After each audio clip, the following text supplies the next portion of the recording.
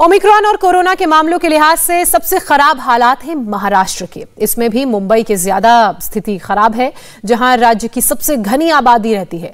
हम आपको दिखाते हैं वो चार तस्वीरें जिसके साथ आप अंदाज़ा लगा सकते हैं कि अगर मुंबई और पूरा महाराष्ट्र दूसरी लहर की तरह तीसरी लहर का भी एपिसेंटर बना तो क्या होगा? करीब छह महीने बाद एशिया की सबसे बड़ी झुग्गी धारावी में कोरोना के एक साथ 20 मरीज़ मिले हैं। पूरे मुंबई में अभी 10,000 से ज़्यादा एक्टिव केसेस हैं और माना यह जा रहा है कि यहाँ संक्रमण कम्युनिटी स्प्रेड की हद तक पहुँच चुका है। इसके लिए ओमिक्रॉन कितना जिम्मेदार है ये जानने के लिए जीनोम टेस्टिंग के सातवें राउंड की रिपोर्ट का इंतज़ार है। ये रिपोर्ट बताएगी कि लोकल ट्रांसमिशन का लेवल क्या है क्योंकि ओमिक्रॉन के कई मरीज़ यहाँ जो मिले हैं उनकी कोई ट्रैवल हिस्ट्री तो है नहीं लेकिन विडंबना देखिए।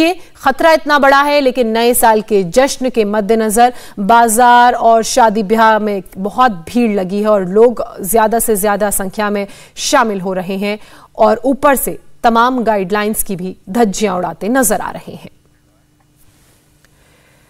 महाराष्ट्र में बिगड़ती हालत को देखते हुए बड़ा फैसला लेने की ज़रूरत इसलिए भी है क्योंकि आम लोगों से लेकर बड़े नेता तक कोरोना नियमों की धज्जियाँ उड़ा रहे हैं। हम आपको दिखाते हैं अहमदनगर में शादी समारोह की तस्वीर जो बीजेपी के नेता शिवाजी राव काडिले के बेटे अक्षय काडिले की है। इनकी शादी हुई थी। शादी में देखिए क्या भीड़ का हाल है। जब महाराष्ट्र में रात 9 बजे के बाद कर्फ्यू लग जाता है तो छह से ज़्यादा लोगों के एक साथ जमा होने पर मनाही है और अगर किसी की शादी है तो 200 मेहमानों को आने की इजाज़त है, लेकिन उन सब के मद्देनजर, नियमों के मद्देनजर कैसे लोगों यहाँ भारी संख्या में पहुँचे हैं और कैसे नियमों की धज्जियाँ उड़ाई जा रही हैं। कोई भी सोशल डिस्टेंसिंग का पालन करता हुआ कम से कम नज़र नहीं आ रहा है। देखिए कैसे लोग साथ साथ बैठे हैं। मास्क भी नहीं पहना है।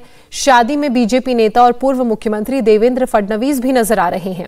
उससे पहले पूर्व मंत्री राधाकृष्ण विखे पाटिल भी शादी में दिखे, जो कल कोरोना पॉजिटिव पाए गए। लेकिन इससे भी किसी ने सबक नहीं लिया। देवेंद्र फडणवीस के साथ शादी में मुख्यमंत्री बीजेपी के प्रदेश अध्यक्ष चंद्रकांत पाटिल भी हैं। पूर्व मुख्यमंत्री गिरीश महाजन, राधाकृष्ण विखे पाटिल दिखे। सांसद सुजय विखे पाटिल भी नज़र आए। सदाशिव लोखंडे समेत कई दिग्गज नेता शादी समारोह में मौजूद रहे।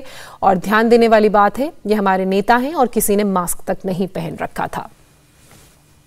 इंडिया टीवी, हर वक्त। हर जगह। डाउनलोड करने के लिए सर्च करें India TV news Google Play Store या एप स्टोर पर।